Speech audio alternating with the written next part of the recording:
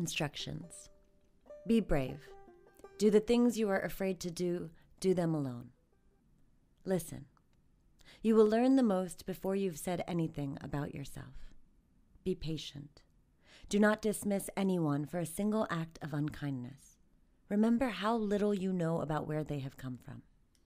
Remember that nothing anyone does is actually about you. Be cautious.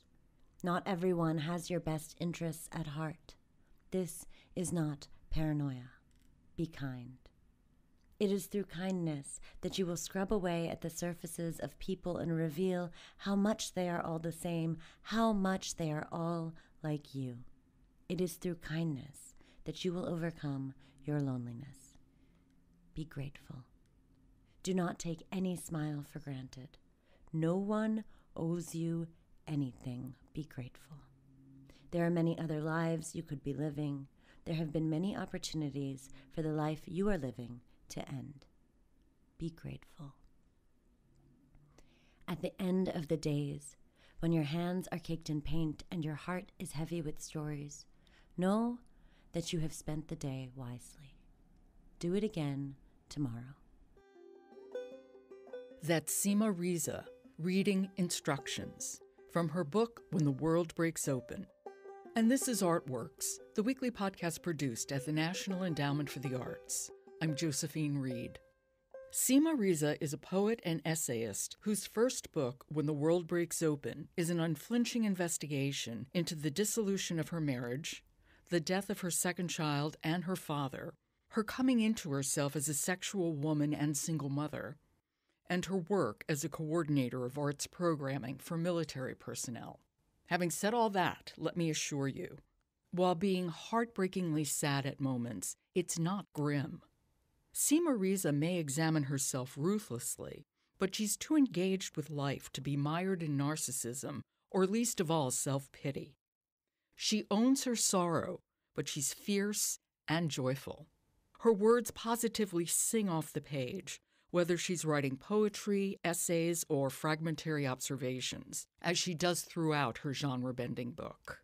When the World Breaks Open is a daring and sophisticated work that turns jagged truth into art with a lyrical power.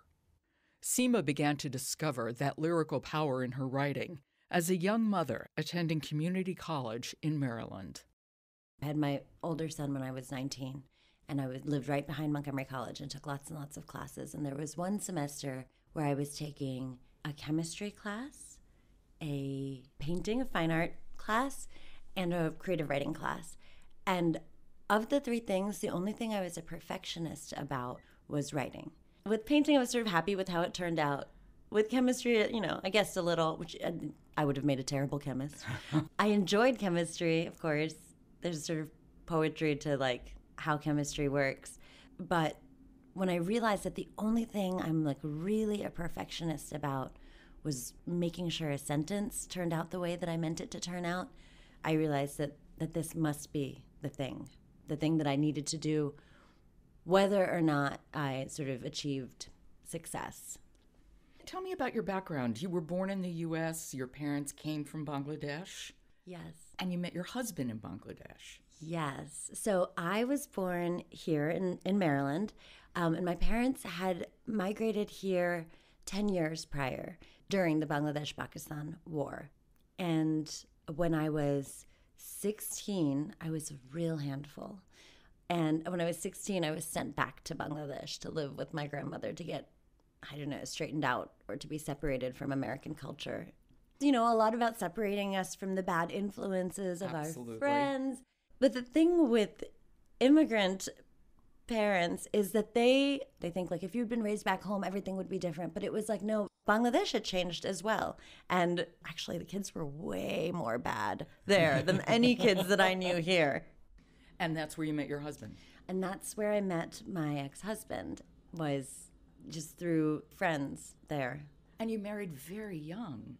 yes. I mean i had turned 18 like two months before we got engaged when i was 17 now looking back it's absolutely nuts we were in the kind of love that you can only be in when you're 17 and 20, you know? And I really wanted to escape. You know, I wanted to escape the cultural and religious pressure of my family. And getting married seemed like a certain path to adulthood. If I could have just lived with him for a little while, I'm certain I would not have married him. Um, but that wasn't an option. I was in this pretty religious Muslim family, and that was my way out.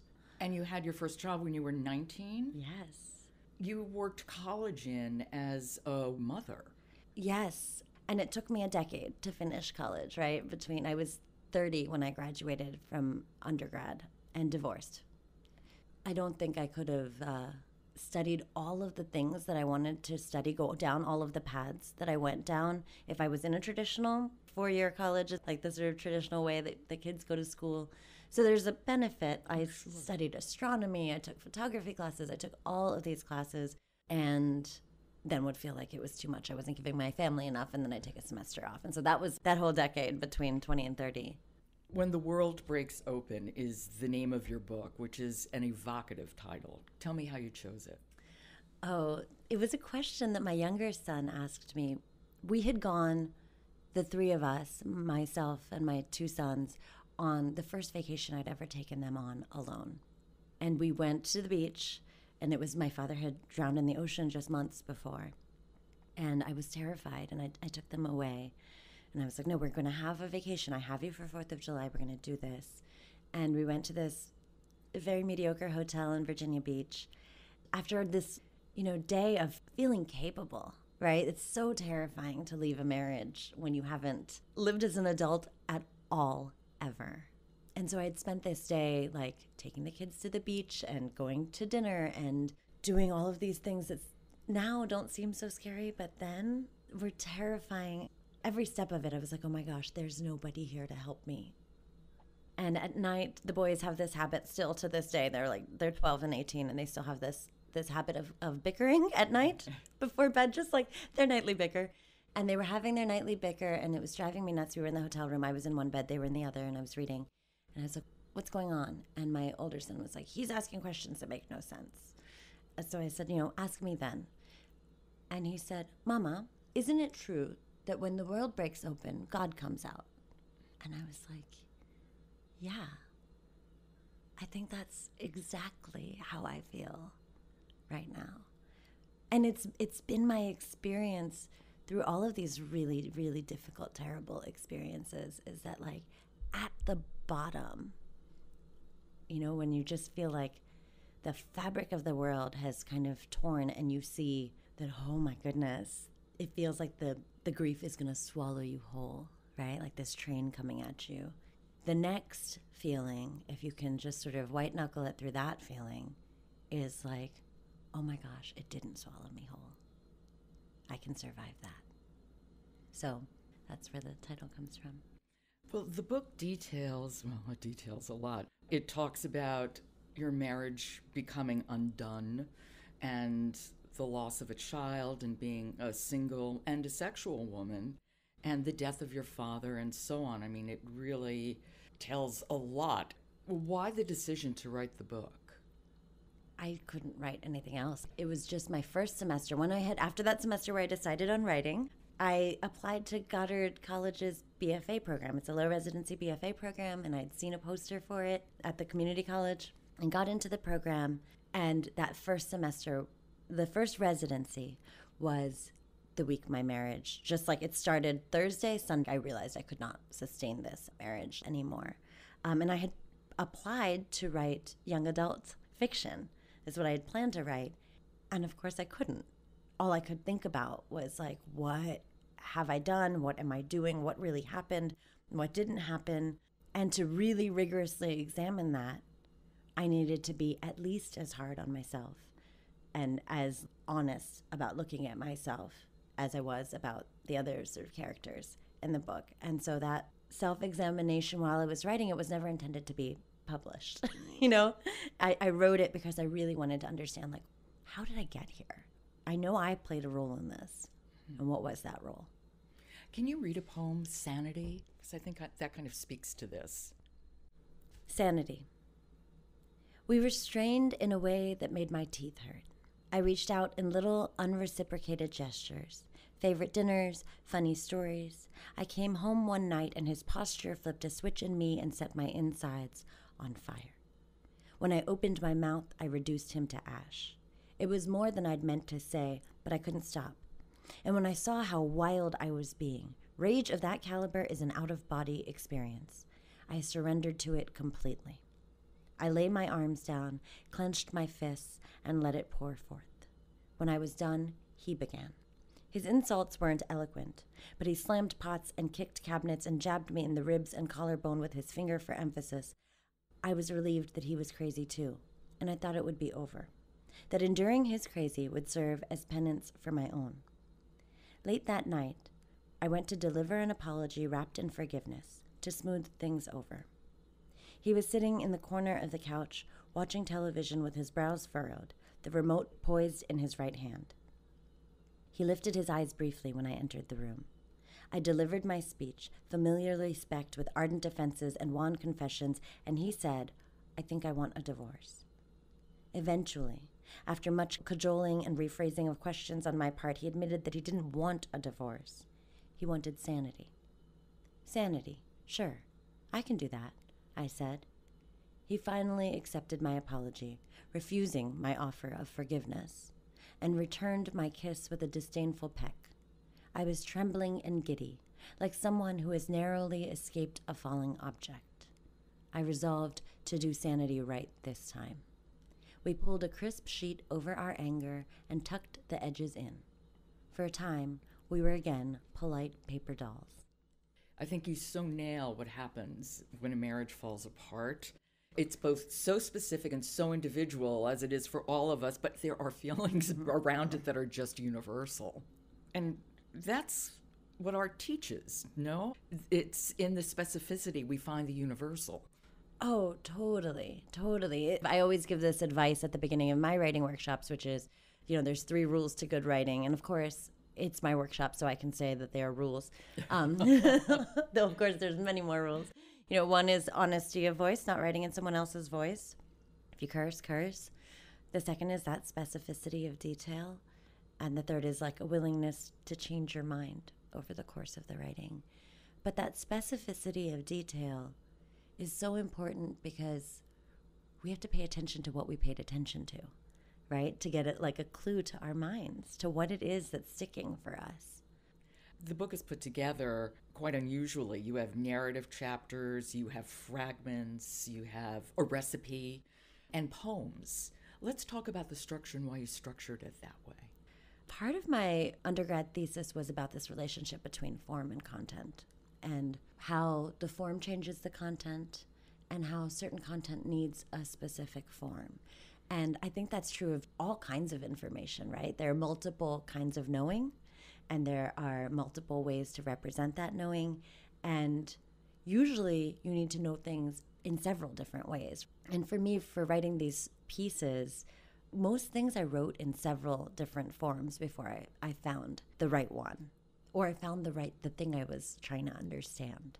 And so I'd, I'd go back and forth and I'd, I'd write it as prose and it would be like, oh, the connective tissue is getting in the way. Or I'd write it as a poem and I'd be like, no, this needs more context. And Red Hen was so generous with me about that. They were like, "Yeah, do it." You and know, that's your publisher. That is the publisher, and that was really freeing. You know, I was doing this process really of investigating how I came to the place that I came to.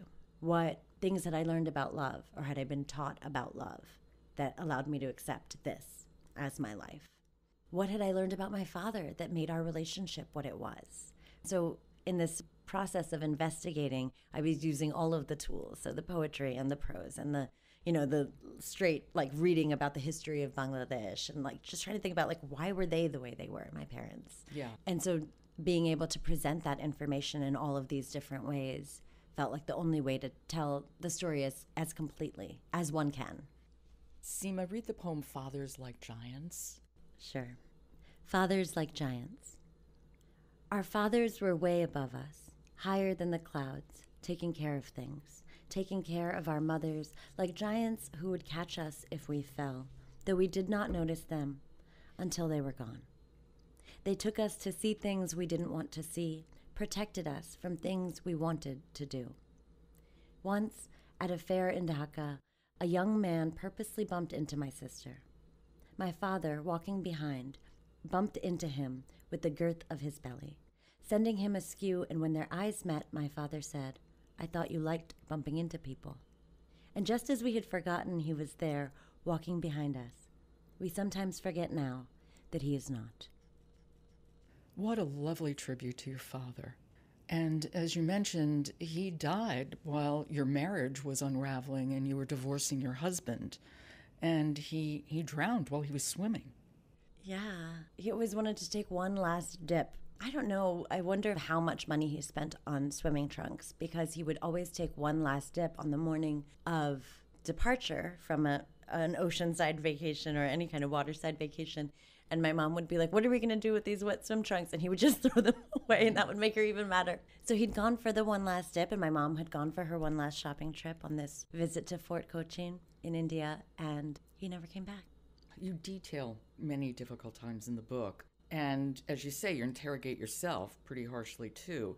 It's so personal, and you directly address your decision to put it all in the book at exactly the point where I was wondering, like, I wonder what her kids think about this. But were you ever wary, or was it as straightforward as it comes across in that chapter in the book?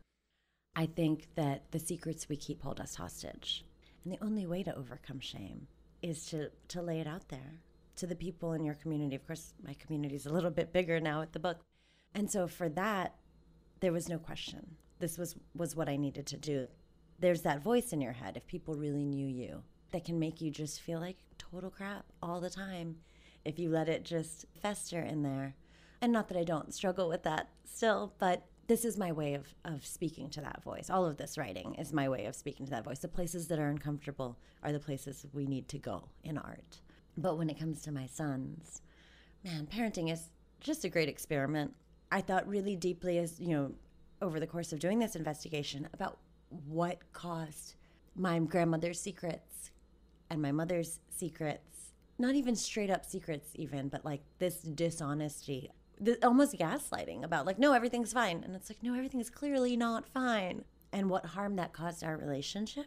And that is one thing that i cannot bear to have with my boys i you know they can they can become whoever they want to become but i'd like to know them and i have to model that you want them to know you. Right. Yeah. Yeah. I want them to, to know me and love me anyway. You write in the book very honestly about your husband being abusive and the stories you would tell yourself, well, I'm not bruised. I'm not bleeding. I mean, mm-hmm. and all those stories. Yeah. You know, there's that. And then also, I'm not the kind of woman who would be abused. There's a deep, deep shame to being weak. And still, I feel a certain little kernel of like, oh, I can't believe that that's part of my history, you know? Yeah. Because we want to be tough and invulnerable and invulnerable and fierce. And you want to believe that the person you're with loves you and and that that is enough, right? We're told that love can conquer anything.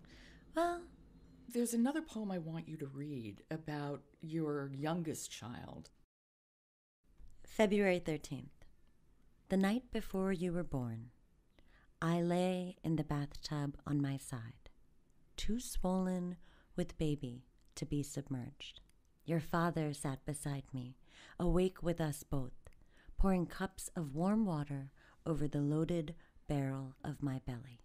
That kind of love is where the roots of this family are. And it is our work to convince you and to convince ourselves of the irreconcilable truths. Love like that existed once, and we are all somehow better off now. I thought that poem was beautiful. And what a gift to your son. Because both your kids, you know, they lived through the fighting and they lived through the divorce. And to remind them that there was a great love there as well, I think is really a lovely gift. Thank you. Yeah, you know, I loved their father so much, and he loved me so much. And so often we feel like to be loyal to ourselves, we have to throw out the good And to move forward, sometimes you kind of do. There are definitely periods where I had to be fueled by rage in order to like pack my stuff up and leave. But also, I learned a lot about being loved during that time too. And if we discount that about everything we have to leave, then when we take this sort of stock of our lives, everything looks like it was really terrible, yeah. but it wasn't. There was laughing at the grocery store and there was all of this beauty and two lovely boys. Two lovely boys and and a lot of really beautiful experiences, which is why I stayed, which is why we kept trying to make it work even though the broken places were getting more and more broken. Thank you for asking me to read that. Oh, no, not at all. I, I really liked it so much. You write in the book about turning jagged truth into art, which is something you certainly have done in your own life, but mm. you also work with veterans and service members to help them do that as well. And the NEA has funded art uh, for veterans and service members for years, art therapy and workshops. So I'm very curious and eager to know how you began that work. I started this work um, at an arts and crafts center that was attached to the old Walter Reed, Walter Reed Army Medical Center. And the Army had stood up these arts and crafts centers just before we were entering World War II for morale, welfare, and recreation. I got there in 2010 it was my first full time out of the house job. And when I began working there, I got involved with doing sessions at the main campus, so not just at the center. And what people wanted was community. You know, I would just set up a table in a public space and we would make art and we would do paintings and we would do wood burning and we would have uh, drum circles and we would do all of these things and it would be this sort of really broad group of people. There's a lot of hierarchy of injury in the in the military health system, I think. And so this was this sort of like flattened hierarchy where we would have family members and somebody with an invisible injury, cancer or post traumatic stress or neuropsychosocial social issues, mm-hmm. and people with visible physical combat injuries all at one table teaching each other things and creating things and and that's what a natural community is, right? A natural community isn't everybody being the same. It's right. this sort of range of you know abilities and strengths so that we can fill in for each other and that sort of emerged there you know recognizing this need I, we founded a nonprofit with several veterans and several community building artists called community building artworks. And we are working to fill that gap for people who maybe didn't see themselves as artists before and discover the art through these art workshops that are not therapy at all, but they're about creating art and supporting them through these sort of phases of like being in treatment and then being an outpatient and then being a veteran, which is a very different experience. When you hand people these tools to develop their own emotional vocabulary, they realize they'd been looking for it all along. I want you to read bad guys. Bad guys. You think I'm good. I'm no good guy. He is clicking his pen, elbows on the table, his composition book open in front of him. He is the only person in my writing group today. He is tall, broad, with short hair and glasses that are tinted dark. He is kind and gentle and intellectual. He has done terrible things on his five combat tours. He is one of the best people I have ever met. You want to know the truth about good guys and bad guys? He asks me. There are no good guys, only bad guys and other bad guys and innocent people caught in the crossfire. I think maybe there are only good guys, all caught in the crossfire. And the last line just sums sums it up, I think. Yeah. I think it's that shame thing, of course. And we create these barriers around like what type of person would do X or Y. And we don't have like a a practice of forgiveness. I don't think in the modern world or like there isn't like a lot of space for that. But when you sit with people and you make space for them, they usually think their way to really good things. When they are in a space with unconditional positive regard. But it means that you have to also allow space for them to say things that challenge you and your capacity for love. Because usually somebody will say something really, really harsh or Islamophobic or sexist, something designed to make me flinch just before they tell me something that's real and vulnerable. Just before they're willing to write something real, they check if I'm trustworthy, if I can handle the real truth. It's not for everyone, but for me, I feel like I've done some pretty terrible things. And I would prefer for people to see through that to what my intention is today, you know? Yeah. I always think I really do not want to be judged by the worst thing I ever did and try to remember that when I'm looking at other people. Oh, amen. Yeah. And learning self-forgiveness, not that I'm I'm done with it, but it is the most essential life skill. And teaching people how to like work towards that means that you have to hold the table steady while they shake it. What has working with veterans and service members taught you about art? It has taught me so much about art. One of the main places that there's sort of overlap between veterans and artists, I think, is that you know military training trains people to observe really carefully, as does art training, right? When you're drawing a thing, you have to forget what you thought you knew about what it looks like and break it down into what you're actually seeing. And similarly, when you write about something, right, we're writing these specific details and really trying to see beyond what we thought the story was. And paired with this sense of like, nothing makes sense, and so I better make sense of it. And that's true for artists.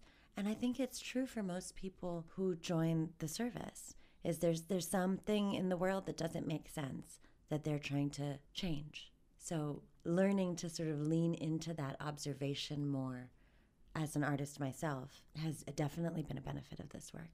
Poetry Out Loud. You are a judge this year and you were a judge last year. Tell me about that experience. Oh my goodness. So last year was my first year and I didn't quite know what to expect. I thought it would be really, really difficult to judge children. And I'll confess to you and everyone else that it was not. I, I warmed to it because they took it so seriously. You don't think of them as kids when they get up there and they're really doing this work so professionally. And one of my favorite parts is receiving the packet of poems. So we receive the poems before the kids read them. So we know what they're going to read and we can familiarize ourselves with the text. And it's often like favorites and then so much stuff that I haven't read. So it's always this like new bank of awesome poems. And that's very exciting. And you know, I do most of my professional work on the other side of the funnel when adults who didn't learn this poetic practice as a way of seeing the world, an alternate view of mm-hmm. the world. So it's really heartening to see kids who make this kind of effort to memorize poems, understand them. That emotional work of understanding a poem is maybe harder than writing a poem, I think. And it, it makes me really hopeful for the future, which I'm always in need of. As we all are. Do you find that there's a particular resonance when you're actually hearing poetry as opposed to reading it? Definitely. I think poetry is, is meant to be experienced aloud. I believe that that's what line breaks are for in poetry. And when you read a poem aloud from the page, I think that the writer is training you when to breathe and when not to. But right, you're trying to control the flow of somebody else's breath when you when you put in these breaks. So having read the poem and then having it read to us and matching up those experiences, I think there's definitely a huge advantage. People should come just see the performance because it's it's amazing. Tell me what you're working on now. So I am working on a collection of poetry that will come out in 2019. I'm very, very excited to get a, a book of just pure poetry out. And I'm also working on a collection of nonfiction essays about the different ways that we know things and who gets to claim knowledge. Seema, thank you so much. I really appreciate it. And I thought your book was wonderful. Thank you so much for reading it and for this opportunity. Not at all. Thank you. That's poet and essayist Seema Reza. Her book is called When the World Breaks Open. And as you heard, Seema is one of the judges at the 2018 Poetry Out Loud competition. The finals are on April 25th at 7 p.m. at the Lisner Auditorium here in Washington, D.C. Go to arts.gov for more information about this free event. And if you can't make it to the Lisner, we're live streaming the finals at arts.gov. You've been listening to Artworks, produced at the National Endowment for the Arts. You can subscribe to Artworks wherever you get your podcasts, so please do, and leave us a rating on Apple. It really helps people to find us. For the National Endowment for the Arts, I'm Josephine Reed. Thanks for listening.